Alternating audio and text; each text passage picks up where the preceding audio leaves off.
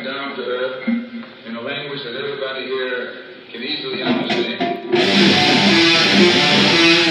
understand.